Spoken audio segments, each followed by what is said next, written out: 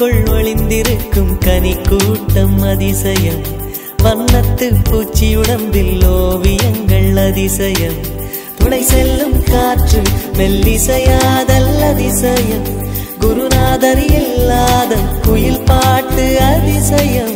அதிசயமே அசந்து போகும் நீ எந்த அதிசயம் கல் தோன்றி மண் தோன்றி கடல் தோன்றும்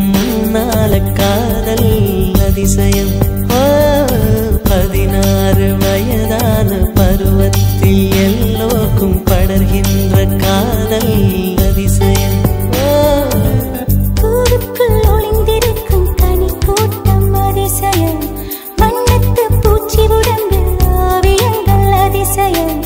துளி செல்லும் காற்று மெல்லிசையாதல் அதிசயம். குருநாதர் இல்லாத குயில் பாட்டு அதிசயம். அதிசயமே அசந்து போகும் நீ